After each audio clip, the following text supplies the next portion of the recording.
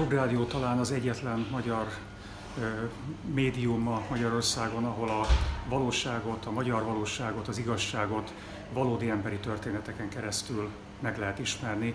Ezért hallgatom én a Klubrádiót, és ezért ajánlom mindenkinek.